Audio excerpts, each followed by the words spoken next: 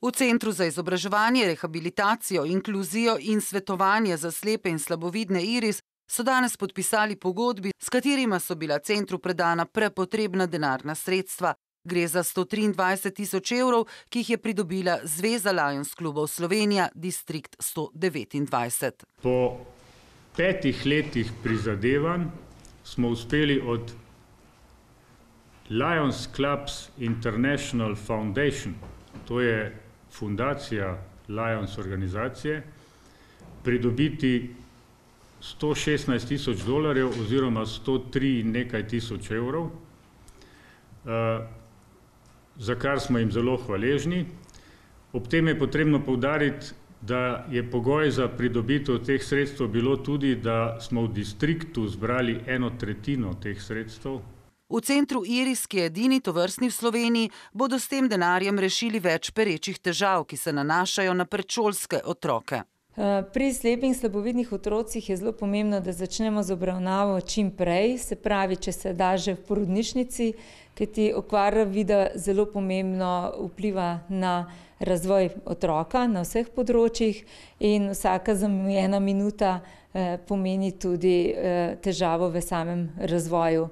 Tako da, slepi otroci se ne, učijo s posnemanjem in zato tudi potem moramo na drugačen način k njim pristopati in jim svet približati. Zakon o zgodnji obravnavi slepih in slabovidnih otrok je bil sprejet leta dva tisoč sedemnajst, letos pa naj bi stopil v veljavo, toda za to ni dovolj zaposlenih strokovnih delavcev, materiala niti prostorov. Brez donacije Zveze Lions klubov bi starši morali še naprej iz vseh koncev Slovenije otroke voziti v Ljubljano. Z nakupom didaktičnih igrač, ki so, ki oziroma bodo potem na voljo tudi staršem, za izposojo, da bodo lahko te terapije nadaljevali sami v domačem okolju. z obnovo prostorov, z obnovo dela prostorov, zavoda Iris z namenom, da bodo lahko starši, ki bodo še vedno prisiljeni, priti na terapije v Ljubljano, imeli možnost bivati. drugi del, drugi del, pa je nenazadnje tudi, omogočiti zavodu Iris, da izvaja te terapije na domu. Se pravi s podporo, večji mobilnosti njihovim strokovnjakom, z nakupom avtomobila. Del projekta pa je namenjen pridobivanju novih znanj. Za zdravnike, psihologe in specialne pedagoge bodo pripravili izobraževanja. Znanje, ki ga bodo pridobili, bodo širili naprej, najprej v Črno goro, kot je bilo dogovorjeno v sklopu regijskega sodelovanja Lions klubov. V Centru Iris pa več pozornosti pričakujejo predvsem od države.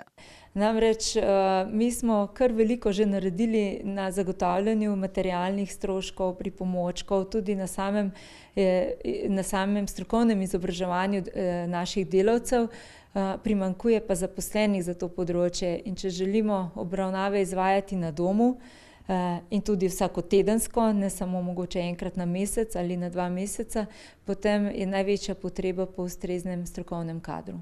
Pred dvema letoma so lionisti praznovali sto let delovanja. Prisotni so v več kot dvesto državah, članov pa je milijon štiristo petdeset tisoč. V Sloveniji delujejo osemindvajset let, v sedeminpetdesetih klubih je aktivnih tisoč štiristo petdeset članov. Slovenski lionsi sodelujemo na, delujemo na več področjih.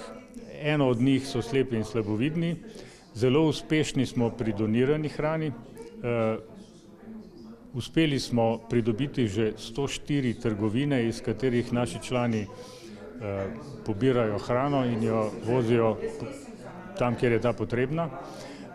pred leti smo vzpostavili ljudsko kuhinjo v Ljubljani. In še bi lahko naštevali. Darovanje Centru Iris pa ne pomeni, da bo denar predan v enkratnem znesku. Denar bo pritekal po potrebi, v Centru Iris pa bodo morali natančno poročati o namenu porabe.